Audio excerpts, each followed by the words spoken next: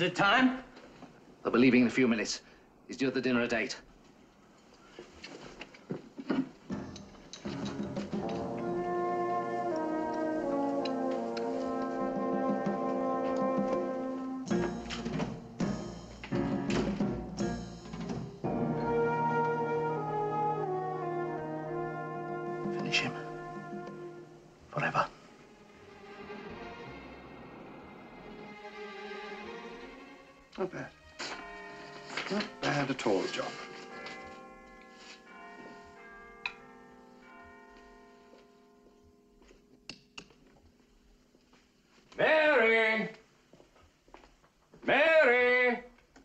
It's 7.30. I'm ready, darling.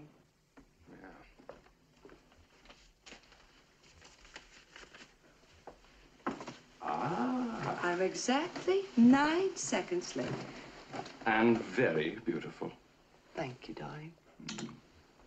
Considering your age and the pace you've gone. Just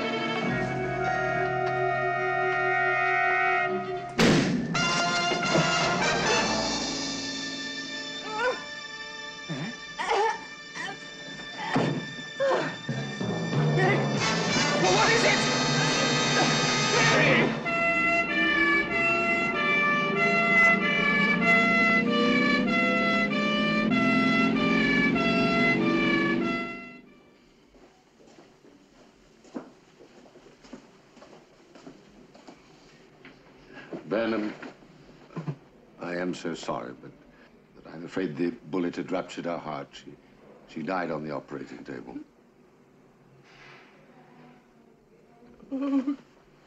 Oh, I am so sorry.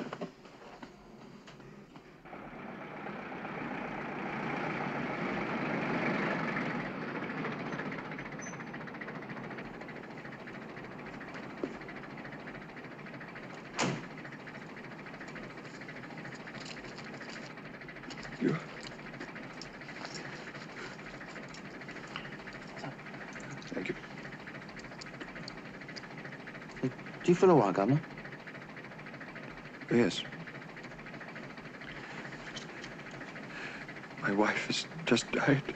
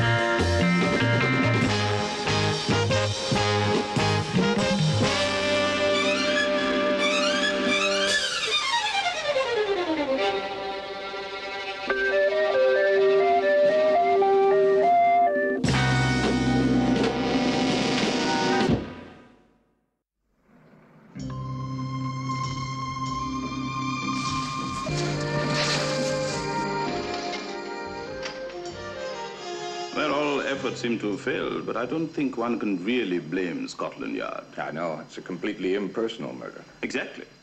I can shoot any one of those Kias down there, and no one would suspect me of it because of the complete absence of motive. You've made the point. I only wanted you to know what you were taking on, Stewart. Just why am I taking the case on? John Burnham is a very important man. Oh, to whom? The world. Well, all right. How is he important? That you will find out in due course. Great. You ask a simple question. Stewart, find whoever killed his wife and watch over John Burnham like a guardian angel. Enemies? Mary? Never in our whole life. Not one. Then it was a completely impersonal murder. That's what the police said. About all they said, as a matter of fact. Would you like a drink? Uh, no, thanks. I will, if you don't mind. Please. See, what you're suggesting is that some complete stranger killed my wife for no reason at all. Unless the bullet was intended for you. You surprised? I doubt if I've any enemies either. I'm too inoffensive. But important. Me important? Well, so I've been told. You've been misinformed. I was born in London of average parents. And I went to school where I was an average student, and I went up to Oxford where I was an average scholar. And I now teach at London University where I'm an average professor. Uh, average, average, average, Mr. Sullivan. But you've written several books. With a huge circulation among graduate students. Now, Mr. Sullivan, I think you'll find I'm as inconsequential a man as you could possibly find. Mr. Burnham, about the, uh, uh, well, the, My aberration. uh, your word, not mine. Do you think I'm lying? Mistaken. You have to be. You were shocked, dazed, terribly upset. You saw something that wasn't there. Did I? Do you believe in ghosts? No. No. The only absolute truth is mathematics. Before we left, I put out the lights in here. Now, Mary, she put these lights out here. When I got out of the taxi, the door was open. She was standing on the porch smiling. Now, After a moment, she came inside and she closed the door. And when you came inside? Nothing. But the lights were on. Well, anybody can turn on lights. Who? I don't know, somebody. Mr. Sullivan, I'm an economist. I'm concerned with facts, with percentages, with figures. Now, I'm certainly not unduly over-imaginative. And I think that I'm as well balanced as the next chap. I'm sure you are. But I'm telling you that I saw her standing just outside under the porch lamp. Now, I saw her as clearly as I see you now. After she was dead. We therefore commit her body to the ground, earth to earth, ashes to ashes, dust to dust. I've done some research. On what? Ghosts. 22% of the people in this country believe that ghosts exist. You must be joking. I'm not. There were 106 recorded apparitions in England last year. I couldn't get the figures for America. It's probably higher. Well, what have you been reading, Hamlet? I'm only telling you, that's all. If 22% of the people believe in ghosts, then 22% of the people are fools.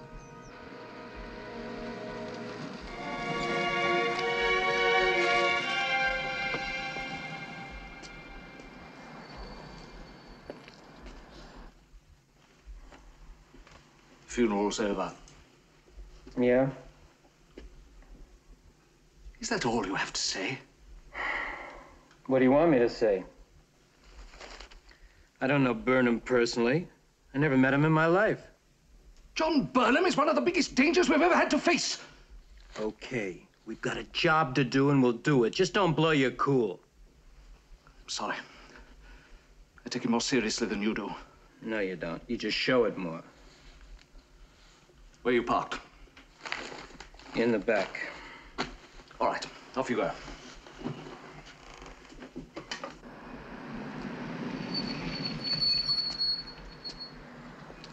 Why is a professor of economics so important? What's he involved in? I haven't even a glimmer. I adore working in the dark. Ours is not the reason why. What do we do? Just sit here? No.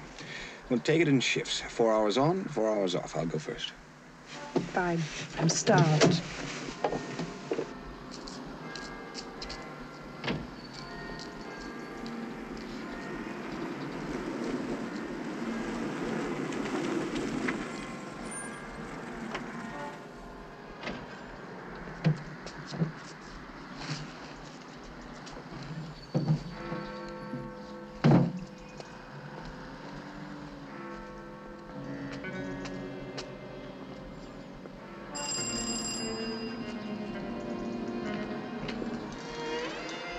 Mr. John Burnham?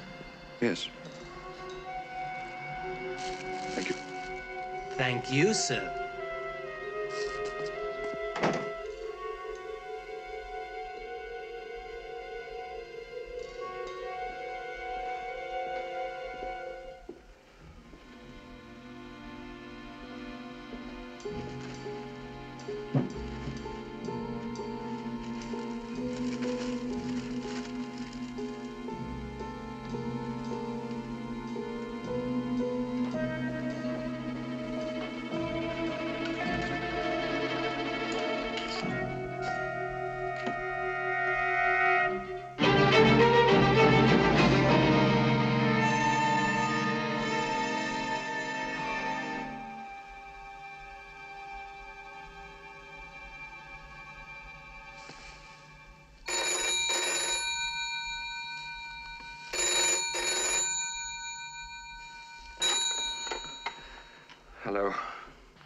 Darling, I've been terribly stupid.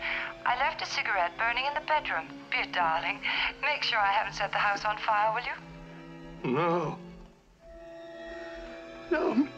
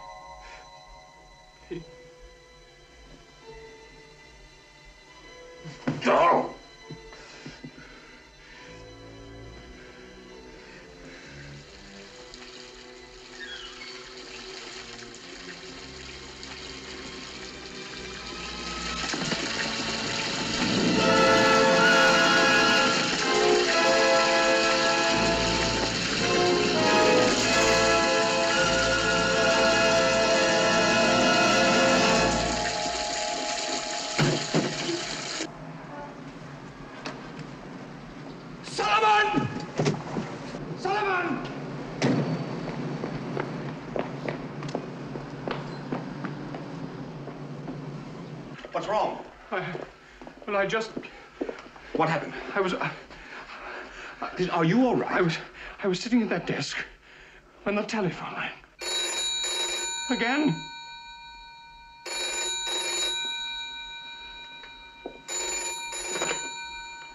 Hello? Darling, I'll pick you up at the university at five.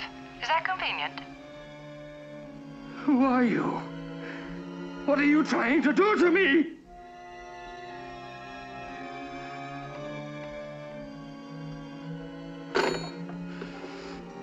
She rang up a few minutes ago. And she said that there was a cigarette burning in our bedroom.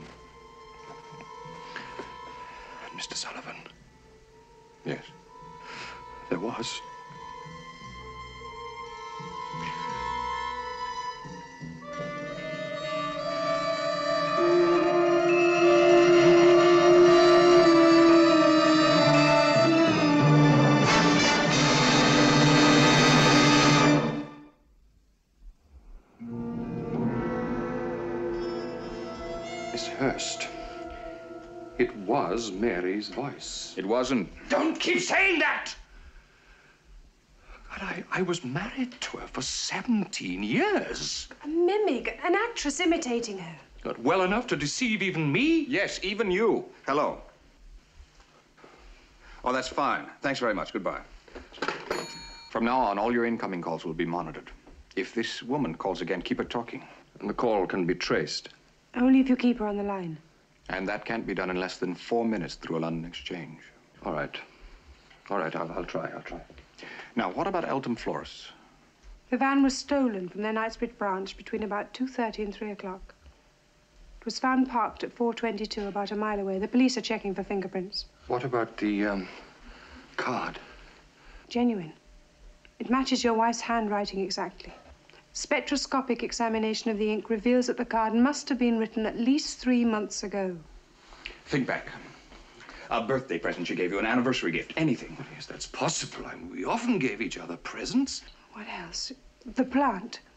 It was sprayed with a solution of 30% nitric acid. Nothing supernatural. A simple chemical reaction. But, Sullivan, to get the card, somebody must have broken into the house. Right. The same person who turned on the lights and the bathtub tap. But why? And what's the reason for it? And what's behind it? What can anybody possibly gain from these. Well, practical jokes isn't strong enough. The whole thing is diabolical. If that's her, remember, keep her talking.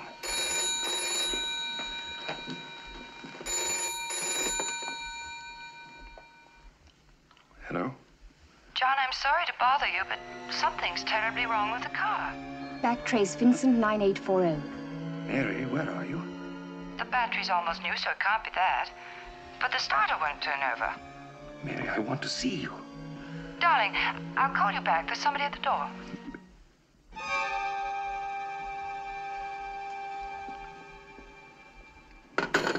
Did you get anything on that? Not even the exchange? Sullivan. Mr. Sullivan, that call timed at just over 30 seconds. We couldn't even trace back the exchange, let alone the number. Yes, I know. Oh, an operator, Mr. Burnham will be going to bed now, so you needn't call back unless you have something to report. Maybe we'll have better luck next time. Uh, thanks for your trouble. Sullivan, Yes? that business with the car. We did buy a battery about three months ago. And one morning, the car wouldn't start. And Mary did ring me at work. You mean you actually had that conversation in the past? Yes. Or one very like it. I mean, I can't remember the exact words. Are you thinking what I'm thinking?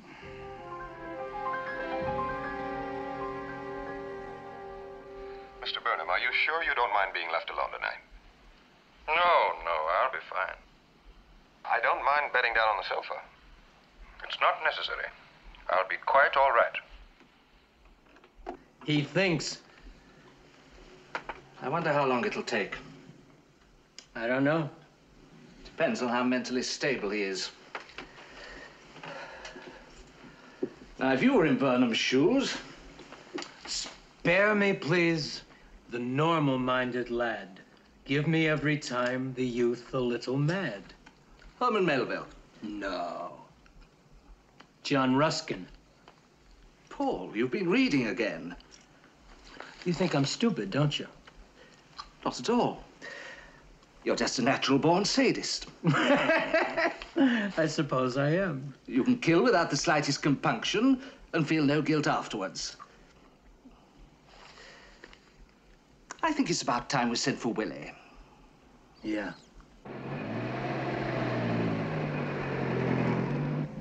You know, I hate leaving him alone. Well, that's the way you wanted it.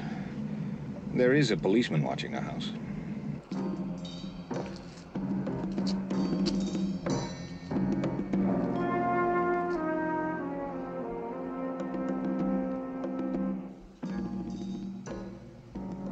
What's he doing now?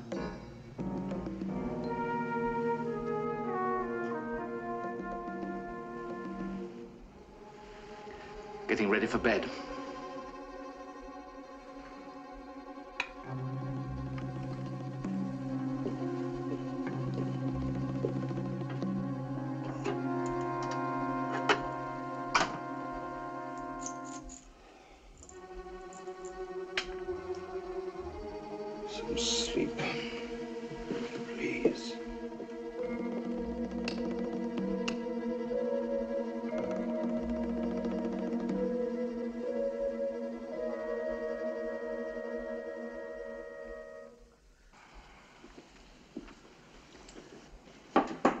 You bet he didn't take sleeping pills? Nothing.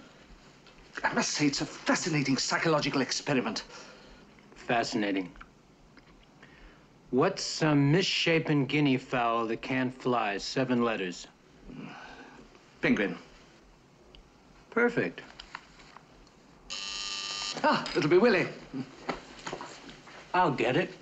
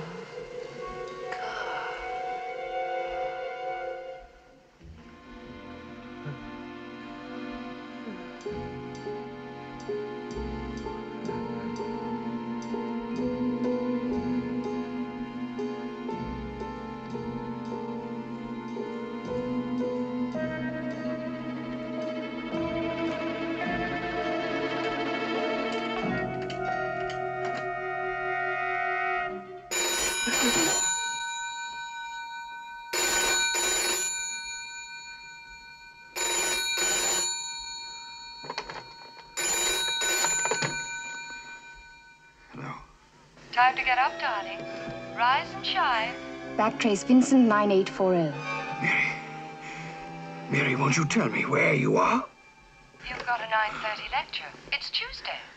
Breakfast's in 20 minutes. So do hurry, darling.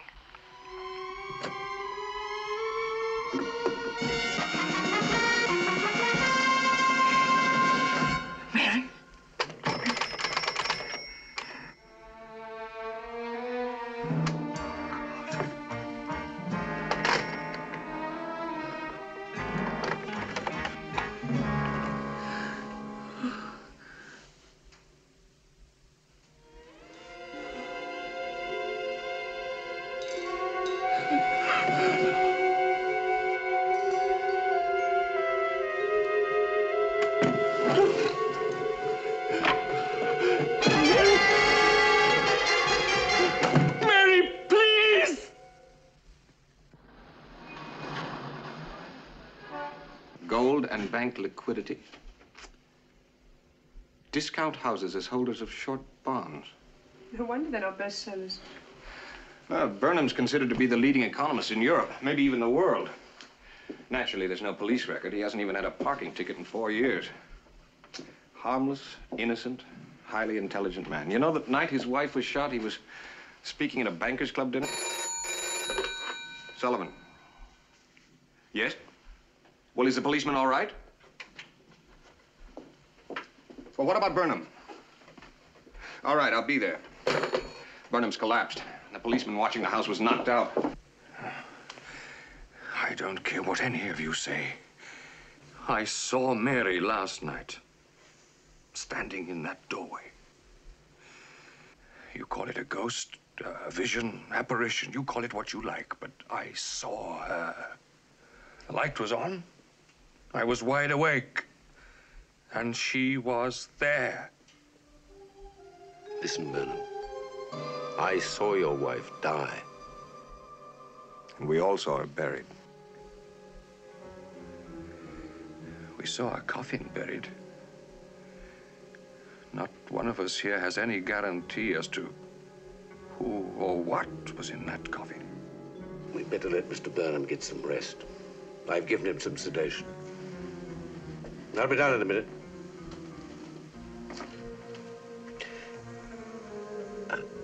Best to get some sleep. Try and put everything out of your mind. Much more of this, and I won't have any mind left. From the disjointed quality of the conversation, she never replied to a direct question. Therefore, the voice had to be recorded. Burnham was right. Nobody could mimic his wife's voice well enough to fool him. Got it.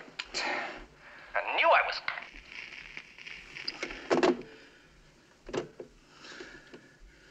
It's the only possible explanation.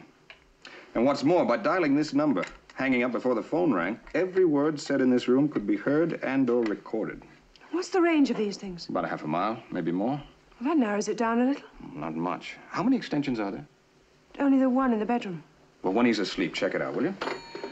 This won't stop the calls, mind you. But at least we know now it's not a voice from the grave. Oh, doctor, how's the patient? Well, he's very nearly at the end of his emotional rope. So what happens? Well, how shall we put it? Every man has his share of irrational fears, private nightmares. Burnham is what we call a genius. Now, sometimes the borderline between genius and insanity is almost non-existent. Meaning he might crack up. Another couple of bad shocks, and he could quite easily have a complete schizoid break. Well, goodbye. Goodbye. Oh, goodbye, doctor. Thank you very much. Annabelle, just where is the Charles Dickens of the paperbacks? Paris.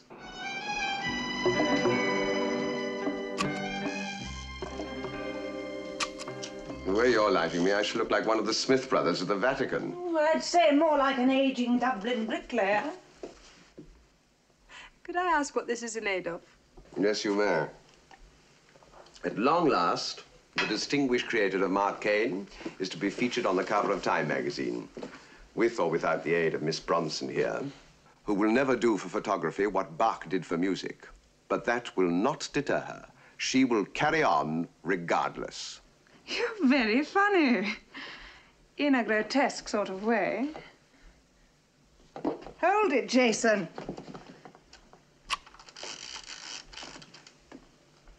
That's enough, I think. I presume your photographs, like yourself, will be overdeveloped. You presumed ever since I arrived. My assistant will pick up the lights in an hour. And in spite of your lousy manners, I'll thank you for your charm, courtesy, and charity. Oh, charity fiddlesticks. I'd wolf caviar in front of starving children. Mr. King, I've lied to you. Oh.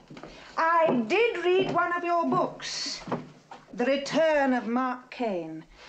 I found it rather difficult. Well, next time try moving your lips. It wasn't that.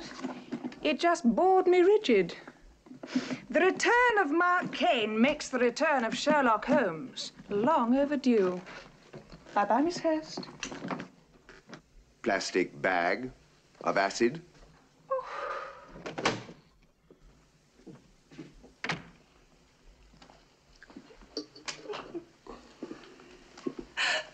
You met your match at last. Now, where were we? Burnham went into the bathroom, and the bathtub tap was running.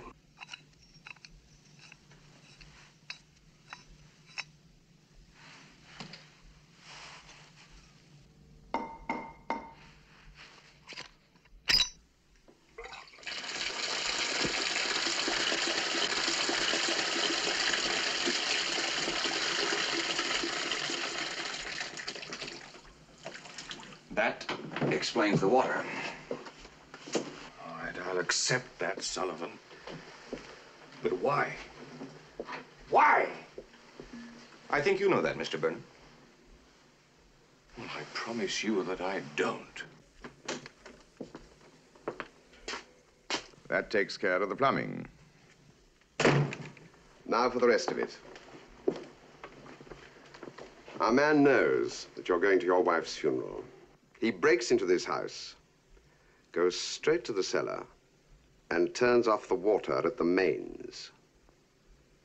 Then he comes up here and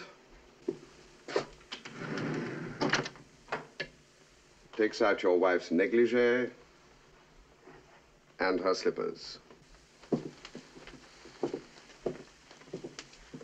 He drapes the negligee over the footstool, places the slippers so. Then he turns on the taps, but no water, because of course he's been turned off in the cellar. Next.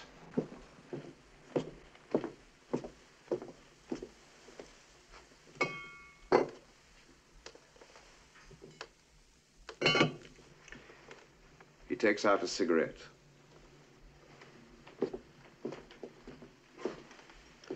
Selects a lipstick.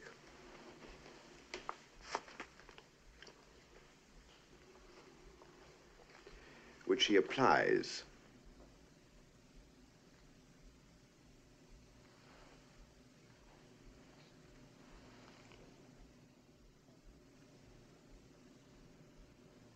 judiciously.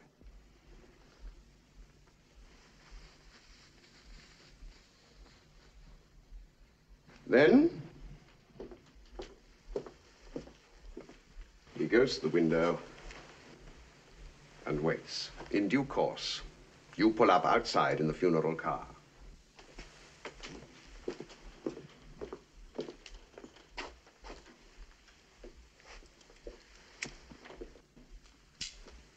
lights a cigarette and places it so. Then he rushes down to the cellar while you're getting out of your car. He hears the telephone. He hears you come up the stairs into this room. He waits a few seconds. Then he turns on the tap at the mains.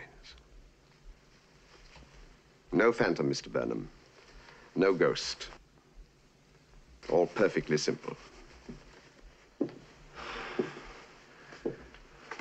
must admit that it does make sense. Of course it does. But you still haven't explained the fact that I saw her. Well, that's just it. You saw her. Nobody else did. Exactly. You mean I was seeing things? Oh, I do quite often. Usually with a more tangible spirit. If even one other person had seen her as well. All right. All right, I'll admit that too. It's the only possible explanation.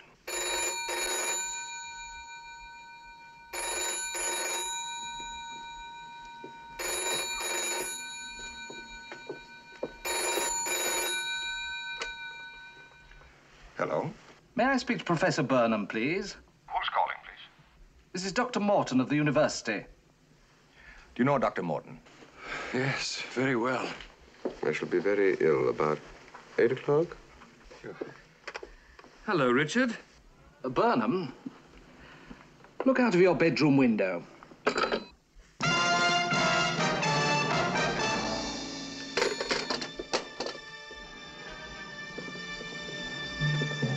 Now you can all see her.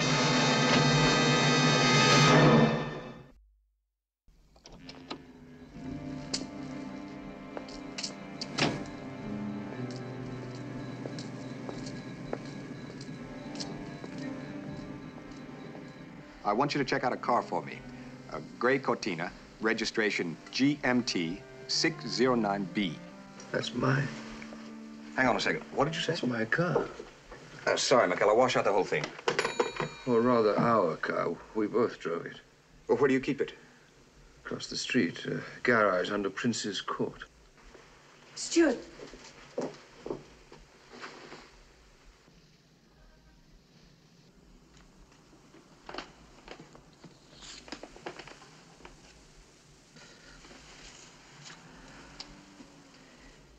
I think we'll speed things up. It's time the press was called in. Release the whole story? Why not? And a couple more visits from his wife, and you and Willie can disappear. So they've duplicated her coat. Looks like they've duplicated her as well. Unless, of course, she's still alive. It's one sure way of finding out. Yes, that occurred to me, too. I'll think about it. In the meantime, go and check out the car. Oh, and Annabelle, then get to work on the coat.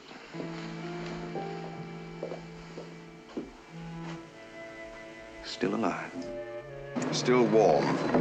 What was the name of the man who phoned? Dr. Morton, Do you remember his exact words? he told Burnham to look out of the window. Not quite. He said, Burnham, take a look out of your bedroom window. You've left me behind. Look out of your bedroom window, Burnham. How do you know that Burnham was in the bedroom? I don't know. Obviously, he could see him. Wife was shot in the garage. Somebody's been watching Burnham. Somebody in this building. The police questioned all the tenants in the building. They've all been here for years and all on long leases. Well, just because you've got a long lease, it doesn't mean that you're an innocent Anglo-Saxon virgin. No, I suppose not. In People in Glass Houses Shouldn't, Mark Caine disguised himself as a window cleaner.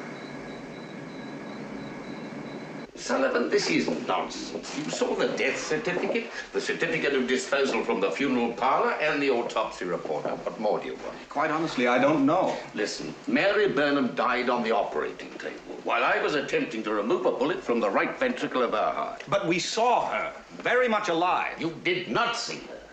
Mary Burnham is dead. Dead legally, dead physically. Dead and buried.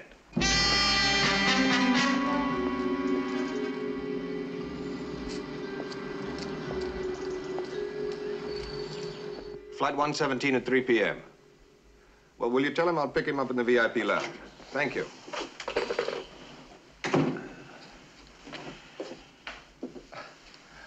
Well, you look like the bearer of good news. There were 37 dozen of those coats made. They were sold to nine different stores in London. And you went to them all. Every one. Nothing. Well, you tried. That I did.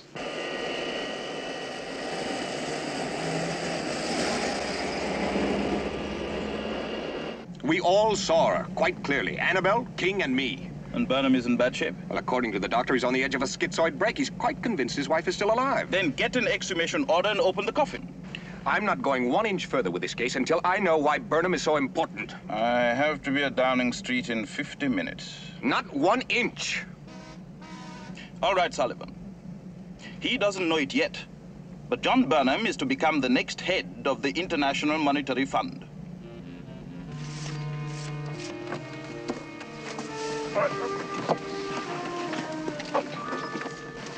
Why didn't he tell us? Well, Burnham doesn't know himself yet. The appointment hasn't been ratified. I gather Burnham believes the free world monetary system needs a complete overhaul. It seems that lately it's been showing distinct signs of coming apart at the seams. I never understood why. The volume of trade's rising faster than the supply of money. Evidently, Burnham has some revolutionary theories. He wants to abolish most of the present rules and regulations. Are they finished? Open it.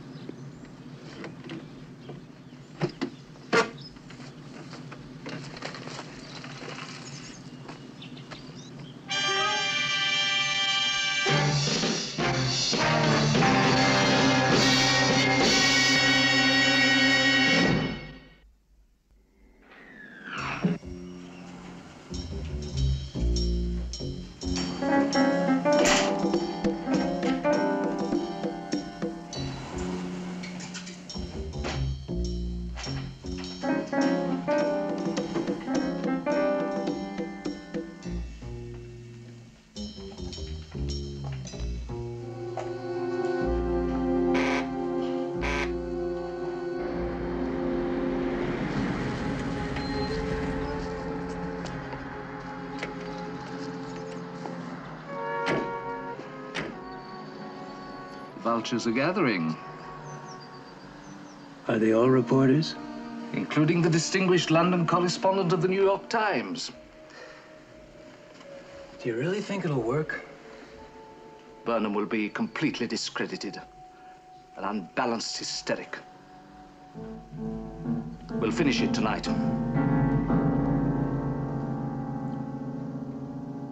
Hmm. No, I have no idea who leaked the story. Yes, yes. Yes, I promise the matter will be fully investigated. Thanks for calling. Bye. Karl Schiller, German economics minister. That's the sixth call this morning, including one from the U.S. Secretary of the Treasury. Well, it's pretty clear what's happening. Oh, yes, perfectly. John Burnham will drastically overhaul the Western world's monetary system. And that wouldn't please the Eastern powers one single bit. They want the system to collapse. Wouldn't it have been easier to shoot Burnham? Oh, yes, of course. But that isn't what they want. They want him discredited. Well? The funeral people were outraged at the suggestion. That's where it happened. The coffin was left unguarded overnight. Security arrangements are absolutely nil. I want John Burnham moved. Where to?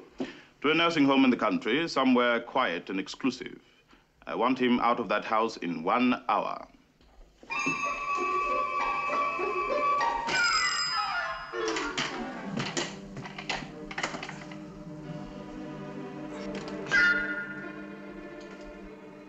Oh, good morning to you. And where's your mother? I'm your window cleaner. You can't come in, fish face. My mummy's gone out. I'm not surprised she's gone out with a little brat like you as a child. Ugh.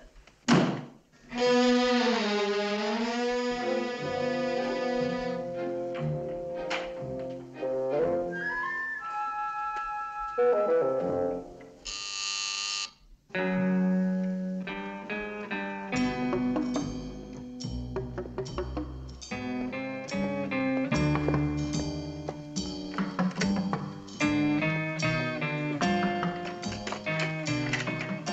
good morning, sir. Caine Window Cleaning Limited, sir. Come in. Right.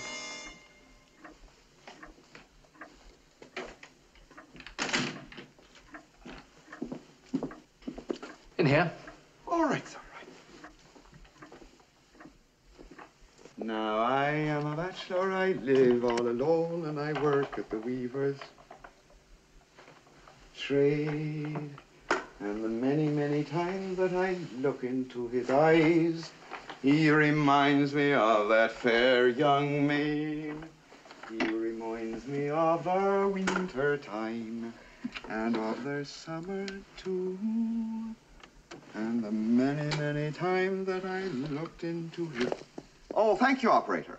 Right, 10.30 exactly. Right, thank you. Drop it. Drop it. Oh, I was just checking on the time, sir. Who is he? I saw him get into Burnham's house. So, uh, you wash windows, do you? Oh, yes, sir. Yes, sir. I do that, sir. I do, I do. Then get at it. Oh, yes, right.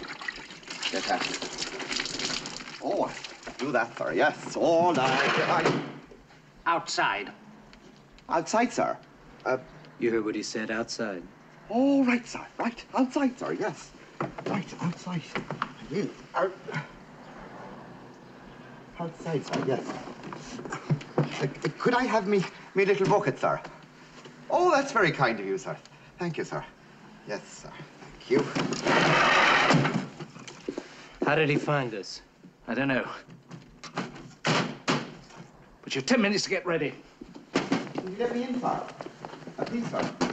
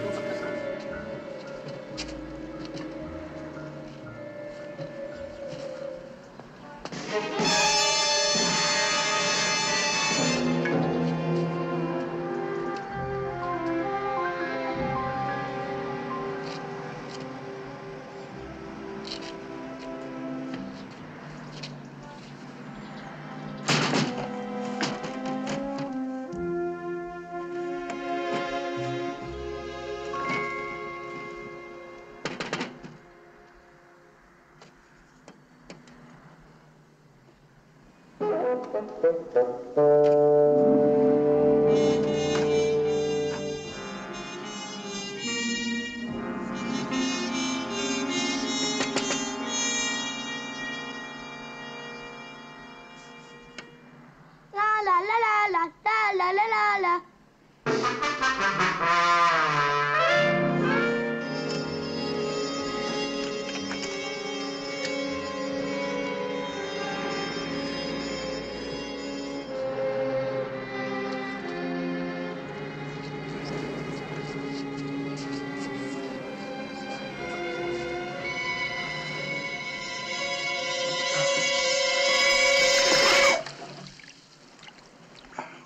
to get up. I'll see myself out.